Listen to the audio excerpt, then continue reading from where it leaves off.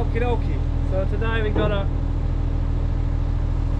pull the pontoons off from this machine as there is wear strip in the bottom of it. And they don't then drop. Don't they drop they wore away. So it's time to replace them.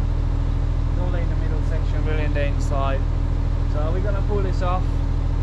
Take the chains off turn it upside down weld it up and then reverse the process put it all back on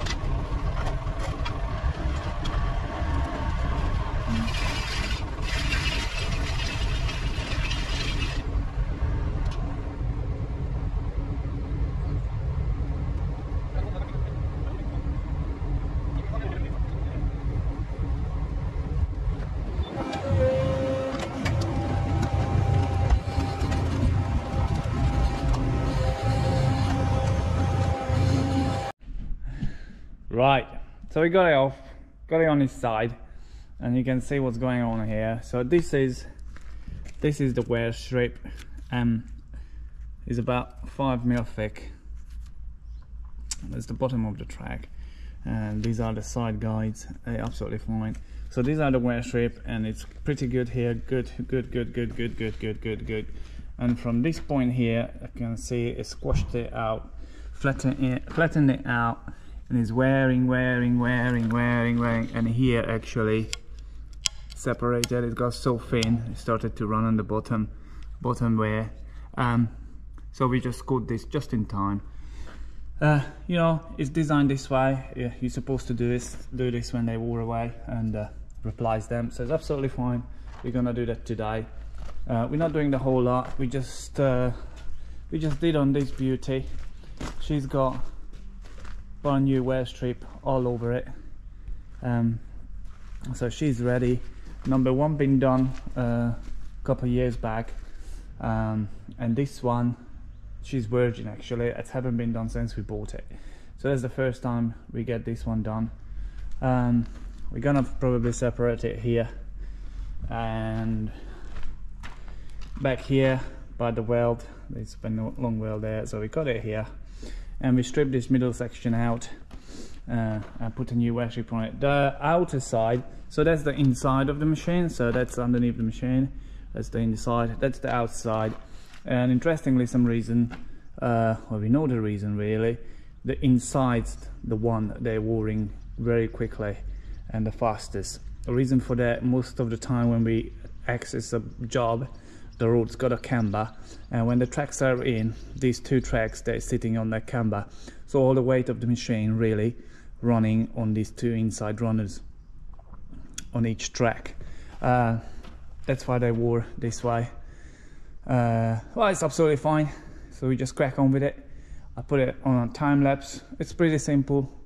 We just cut the old one off clean it up weld a new one on and we gotta put it back on the machine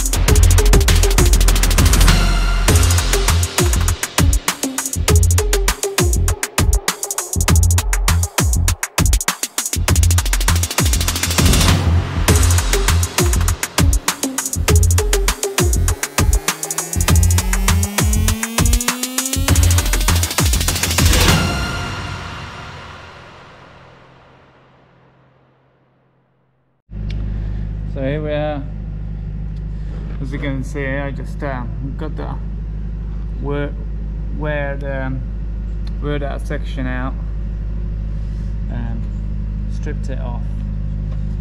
Did clean up the welds they were they spot welded. As you can see, they just spot welded.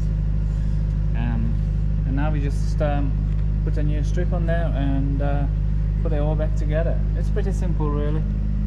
Um, you know, we started about 8 o'clock pulling the tracks off the machine. Now it's 10 to 10 and here we are. The, these are the strips. Just gonna stick them on. That was the hard bit taking the old one off and grind it all up clean it all up. That's the time consuming and not nice job grinding. Lots of grinding really and I hate grinding. It's just dirty. Gets in your nose and everything. Anyway that bit done. We'll patch it all up. And she's ready to go back together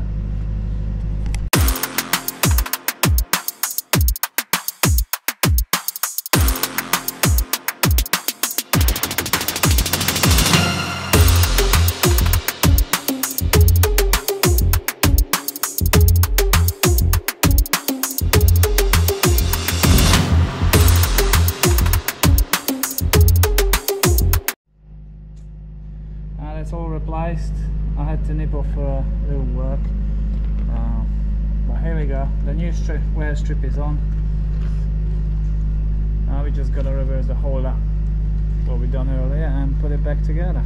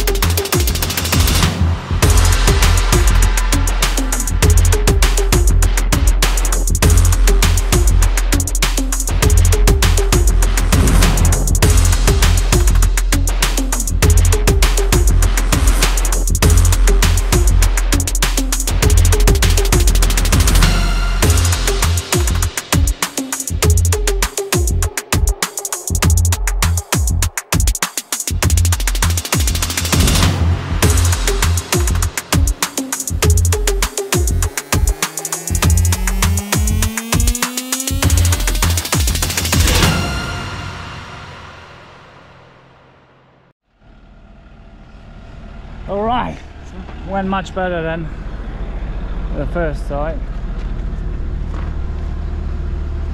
So, just gotta put the pins back in for the rams right there. Tommy's doing it. Aren't you, Tommy? No, I'm not. That's not my name.